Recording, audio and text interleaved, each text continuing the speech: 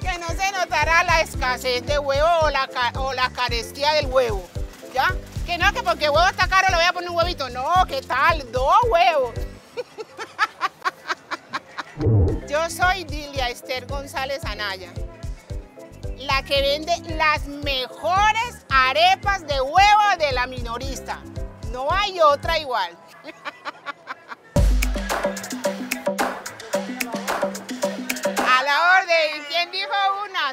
dos.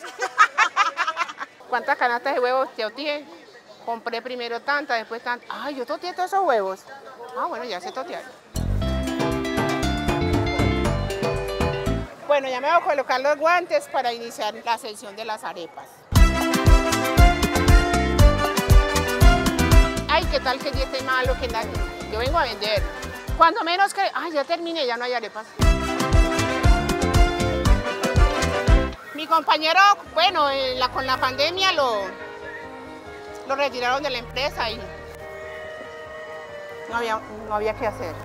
Entonces yo empecé a salir a las urbanizaciones de los alrededores de, de Calazán, a, la, a, los alrededores de la floresta. Fue complicado. Dame a conocer, eh, lograr que el cliente pudiera probar el, la arepa y le gustara y me siguiera comprando y me recomendara. A veces salía con, con 15 arepas y venía con 5, bueno, no pasó nada, mañana será mejor. No, yo me desanimaba. Antes eso me daba como más ganas del día siguiente de levantarme con más ganas. No, eso no me va. Yo, yo, llegaré un día que voy a vender muchas arepas, muchas arepas. Primero no las sabía hacer. Mi mamá no hacía arepa de huevo, porque eso pasa en la costa. Es como, tú vives en la costa pero no te bañas en el mar. Y ustedes van de aquí del interior y no quieren salir del agua.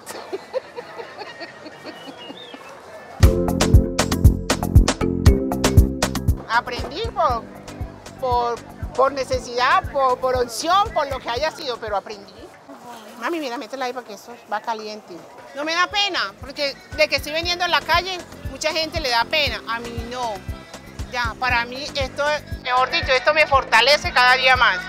Y lo mejor es que el producto que hago le gusta a la gente. Me gratifica eso. Vea qué belleza, qué color. Esta parte oscura es carne, que se le lleva el relleno de la carne. Por eso se ven una, unas partes más oscuras que las otras. ¿Listo? Hola, ¿qué tal? Una arepita ahí.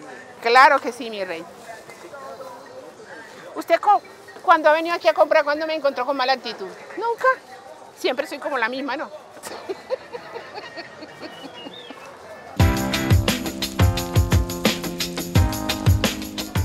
Yo soy de las personas que, que me gusta llegar a la gente, hablarle a la gente, conocer la opinión de la gente, eso me gusta. La gente pasaba por acá y yo, le, yo les preguntaba, eh, les decía, mi rey, a la orden, la arepita de huevo cartagenera. Esas quedaban así, la arepa de huevo cartagenera, sí, es la original, es la auténtica huevo cartagenera. Llegaban, probaban la arepa y no es que es la mejor.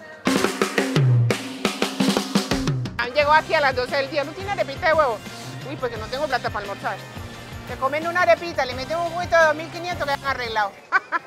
ya tengo fama como la de las arepas de huevo. La señora de las arepas de huevo a la entrada, a la salida de la moto. El origen de esta arepa es en Cartagena. Ya, es el origen, en, en, la, en zona de Bolívar, pero toda la costa atlántica hacen arepa de huevo. En Barranquilla también es muy rica, en Córdoba es súper. Pero en el Uruaco, en Bolívar, es, el, lugar donde se celebra el Festival de la Arepa de Huevo. Aquí está su arepa. O yo, para que se la vaya comiendo. Puro maíz, maíz. ¿Sabe qué maíz utilizo? El maíz bayuno. Le llaman yema de huevo por ser tan amarillo. ¿No va a comprar hoy, vecino? Hoy no. Aproveche, vecino, aproveche que la... Las mejores de medallo. Eso me han dicho muchos.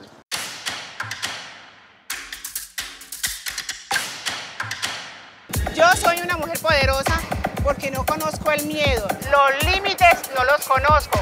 Voy para adelante.